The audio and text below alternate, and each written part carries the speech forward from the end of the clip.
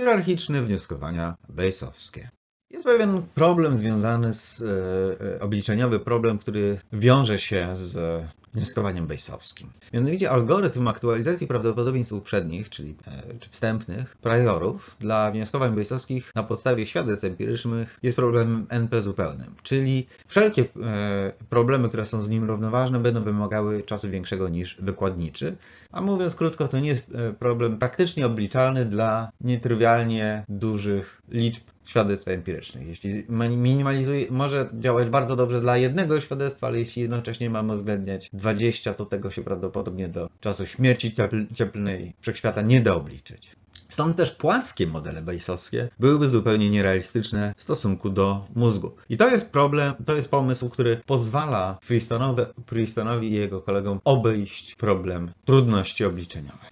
Natomiast NP-zupełność dotyczy złożoności obliczeniowej w pesymistycznym przypadku. Tak się ją wyznacza. Dla mniejszego zbioru danych e, wejściowych problemy NP-zupełne mogą być zupełnie praktycznie obliczalne. Dla jednego, e, dla jednego świadectwa empirycznego może to być zupełnie spokojnie obliczalne. Więc jeśli aktualizujemy pojedyncze prawdopodobieństwo, nie ma żadnego problemu. I temu służyć ma właśnie ta hierarchia modeli. To jest właśnie idea Karla Model wyższego poziomu generuje przewidywania dotyczące wyników modelu niższego poziomu. Model niższego poziomu przesyła do modelu wyższego poziomu tylko informacje o błędzie. I w całej hierarchii przesyłane są tylko takie informacje o błędzie. Nic więcej wzdłuż tej hierarchii się nie przesyła.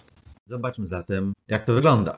Coś takiego szkicuje Howie. Mamy świat, świat, który oddziałuje nam na zmysły. Eee, I proszę zauważyć, Wyniki tego, co generuje model zmysłów, są przewidywane przez poziom minus 1, a o błędzie informacje są przesyłane do kolejnego poziomu. I kolejny poziom też tylko przewiduje poziom poprzedni i wysyła e, kolejnemu e, poziomowi informacje o błędzie. Czyli w dół hierarchii wysyłane są predykcje, a w górę jedynie sygnały dotyczące rozmiaru błędu predykcyjnego. A jednocześnie ten cały schemat działa przy pewnego rodzaju mechanizmach, które nazywa się szacowaniem precyzji, czyli mniej więcej wiarygodności sygnału nadchodzącego. Jeśli ktoś na przykład uznaje, że będzie, e, że e, sygnały które będzie otrzymywał, będą zawsze bardzo mało precyzyjne, nie powinien bardzo radykalnie aktualizować swoich e, przekonań. E, weźmy prosty przykład. Jeśli ktoś e, jedzie w trakcie ulewnego, rzęsistego deszczu samochodem, to nie może spodziewać się, że przez okna będzie miał bardzo dokładny obraz rzeczywistości. Musi uznawać, że jest tam bardzo dużo zakłóceń. Natomiast jeśli jedzie w słoneczny dzień, w idealną pogodę, to to, co tam zobaczy, trzeba traktować bardzo poważnie, bo są zupełnie inne, e, inną precyzję przypisuje się sygnałowi. Przepisywanie e, precyzji jest mechanizmem, który moduluje wnioskowania Bayesowskie, wnioskowania w kodowaniu predykcyjnym, co pozwala dopasować te teorie dosyć dobrze do bardzo różnych sposobów wnioskowania e, przy, pewny, przy różnych stopniach ryzyka tego wnioskowania, w zależności od typu danych, jakie docierają do danego układu. Modele generatywne. One mają postać rozkładów prawdopodobieństw, więc mają naturę statystyczną. Ma tak być również w układzie nerwowym, który według tej teorii ma funkcję wnioskowania statystycznego. Istnieją co prawda hipotezy, one są niestety bardzo ogólnikowe i na razie nie da się ich tak naprawdę empirycznie rozstrzygać, ponieważ są zbyt ogólnikowe, żeby dało się zaprojektować odpowiednie eksperymenty dające możliwość ich e, konkretnego sprawdzenia, ale jeszcze będę Państwu mówił, jakie są problemy z tą teorią, więc zaraz zobaczymy, że nie są aż takie gigantyczne te problemy, ale są problemy ze sprawdzaniem tej teorii z powodu jej ogólnikowości.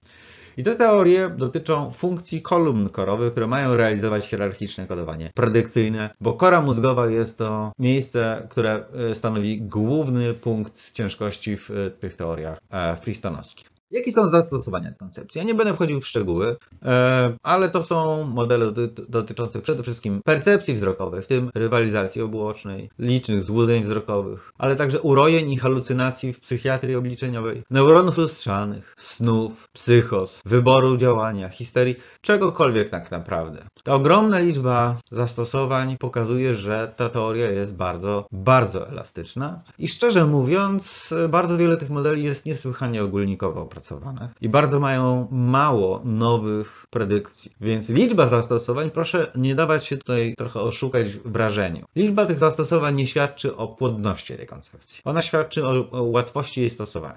E, wraz e, z Piotrem Litwinem napisaliśmy artykuł, on obecnie jest na etapie recenzji e, w dosyć dobrym czasopiśmie. Mamy nadzieję, że się niedługo ukaże, bo już jesteśmy na etapie małych poprawek, w których twierdzimy, że niesłychanie wiele tych modeli tak naprawdę nic nie wnosi.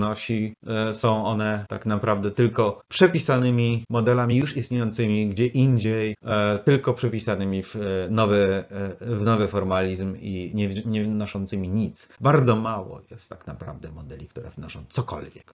Po prostu są to tylko szkice wnioskowania statystycznego. Większość prac freestonowskich zresztą, jeśli praktycznie nie wszystkie, ma postać symulacji, opisów symulacji obliczeniowych, w dodatku przeprowadzonych w sposób, który prawie nie sposób powtórzyć. Bardzo trudno dotrzeć do danych, którym posługiwał się Freestone przy generowaniu swoich tekstów, a generuje ich niesłychanie wiele. W zeszłym roku e, mój współpracownik, e, do, e, dr Hochol, z którym pisaliśmy tekst wspólnie jeszcze z doktorem Henslem, dotyczący replikacji w neuronauce obliczeniowej, Otóż dr Hochol odkrył, i my musieliśmy to też potwierdzić, że od stycznia do bodajże 1 lipca Freestone'owi udało się opublikować 50 artykułów. 50 artykułów. To nie było 52 tygodni w ciągu roku, czyli jeden tygodniowo, to było więcej. Oczywiście są to artykuły we współautorstwie, ale ta liczba artykułów świadczy o tym, że to nie są dane, tak jak bardzo wielu neuronaukowców musi wiele lat zbierać te dane, żeby wyprodukować jeden artykuł, tylko raczej są to licznie e, z jednej symulacji